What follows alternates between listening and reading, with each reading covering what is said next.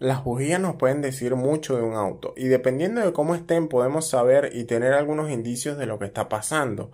Esto puede aplicar para ti si tienes un auto o también si vas a comprar un auto y no quieres que te estafen. Lo primero que debemos hacer es detectar cómo se ve una bujía en buen estado pero que esté usada o que esté trabajando. Aquí en esta imagen puedes ver cómo se ve una bujía usada pero eficiente. El color natural de una bujía es este porque está trabajando bien, pero si la ves muy sucia o llena de aceite u hollín es porque hay varias cosas dentro del motor que no están bien. El hollín es todas esas impurezas que tienes en el motor dentro y lo interesante es que nos puede dar varias pistas de las fallas que está produciendo. El segundo color de la bujía sería el del problema de combustible. Este es un color bastante común cuando tenemos una falla de combustible. Su color es negro tanto en el electrodo como en la punta del electrodo. Aquí se pueden ver cómo el motor tiene algunos problemas de combustión debido a la mezcla de aire combustible desequilibrada.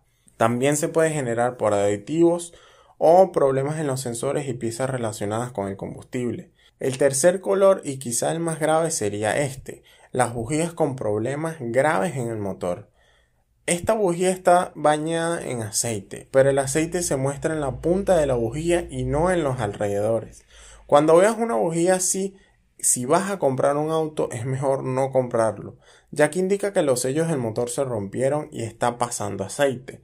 Seguramente la junta de la culata está dañada, está gastada o quizás está rota, y la culata es de aluminio y si se sobrecalienta el daño puede ser bastante grande y súper costoso la culata, la mano de obra, aparte que también vas a consumir muchísimo aceite, muchísimo combustible y se ligará el agua con el aceite y va a ser un desastre. El cuarto color serían las bujías blancas. Este es un color bastante particular como puedes ver en las fotos. Este color indica un problema de sobrecalentamiento. Quiere decir que la culata se le rompió un empaque y que está pasando agua hacia las bujías.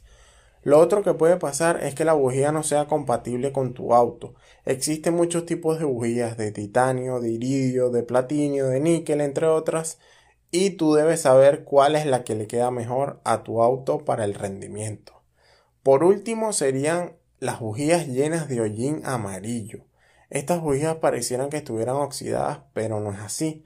No debes confundir este tipo de bujía sana pero la diferencia es que la bujía amarilla tiene hollín adherido a ella.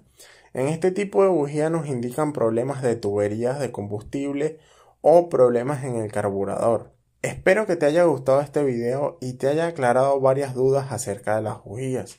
Si es así y tienes alguna falla, déjamelo en los comentarios. Te invito a suscribirte para que no te pierdas ninguno de nuestros videos.